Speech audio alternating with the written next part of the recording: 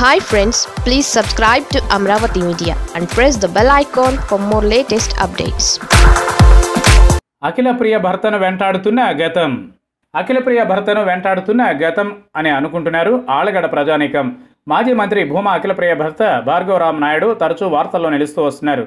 మంత్రి హోదాలో ఉన్నప్పుడు అఖిలప్రియ భార్గవుల పెళ్ళి జరిగిన సంగతి తెలిసిందే. తెలుగుదేశం పార్టీ అధికారం కోల్పోయాక భార్గవరాంపై వరుసగా వివిధ అంశాల్లో కేసులు నమోదవుతూ ఉన్నాయి. అధికారం చేతిలో ఉన్నప్పుడు భార్గవ్ తమను ఇబ్బంది పెట్టారని పలువురు ఆయన మీద పోలీస్ స్టేషన్ల గడప ఎక్కుతున్నారు. అలాగే ఆర్థిక వ్యవహారాల్లో భార్గవ్ తమపై అత్యాయతనం చేశారని మరొకరు ఆయనపై ఫిర్యాదు చేశారు. ఇలాంటి క్రమంలో ఆయనను అరెస్ట్ చేయడానికి పోలీసుల ప్రయత్నాలు కొనసాగుతూ ఉన్నాయి. ఇటీవలే అందుకు సంబంధించి హైదరాబాద్లో ఒక హై డ్రామా చోటు చేసుకుంది. దానికి సంబంధించి పోలీసులు భార్గవరాంపై మరో కేసు పెట్టారు. ఇక తమను పోలీసులు వేధిస్తున్నారంటూ భూమా అఖిలప్రియ వాపోతున్నారు. ఇలా ఈ పొలిటికల్ డ్రామా కొనసాగుతూ ఉంది.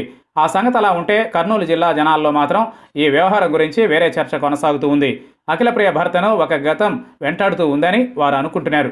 భార్గవరామ్కు అఖిలప్రియతో కన్నా ముందే ఒక యువతితో వివాహం జరిగిన సంగతి తెలిసిందే. ఆ విషయాన్ని వారు కూడా అధికారికంగా ధృవీకరించారు. ఒక పోలీస్ ఆఫీసర్ కూతురును అఖిలప్రియ భర్త ముందుగా పెళ్ళి చేసుకున్నారనే విషయం అతడి రెండో పెళ్ళి సమయంలో మారుమోగింది. అందుకు సంబంధించిన గతమే ఇప్పుడు భార్గవరామ్ను వెంటాడుతూ ఉందని ఆలగడ్డ ఏరియాలో ప్రజలు చర్చించుకుంటున్నారు. భార్గవరామ్ మొదటి పెళ్ళితో ఒక యువతి జీవితంతో ఆటలు ఆడుకున్నాడంటారు. ఆ యువతి తండ్రి పోలీస్ ఆఫీసర్.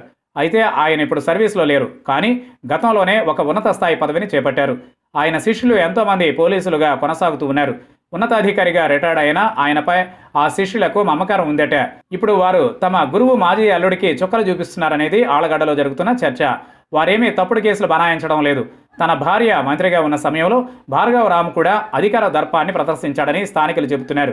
అప్పుడు అధికారం చేతిలో ఉందని బాగా హడావిడి చేశారు. ఇప్పుడు అధికారం చేతిలో లేదు. దీంతో పోలీస్ కేసులన్నీ మీదకు వస్తున్నాయి. దానికి తోడు భార్గవరామ్ గతంలో వ్యవహరించిన తీరు పోలీసుల మనసుల్లో ఉందనేది జనం నుంచి వినిపిస్తున్న అభిప్రాయం. పోలీసులు ఎంతవరకు భార్గవరామ్పై పాత కక్షలను పెట్టుకుంటారనేది మనం చెప్పలేం. అలాంటిదేమీ ఉండకపోవచ్చు కూడా. అయితే ప్రజలు మాత్రం అలా అనుకుంటున్నారు. అఖిలప్రియ కూడా పదే పదే పోలీసులనే లక్ష్యంగా చేసుకుని మాట్లాడుతూ ఉండడం ప్రజల్లో ఈ వ్యవహారంలో మరింత చర్చనీయాంశంగా మారింది.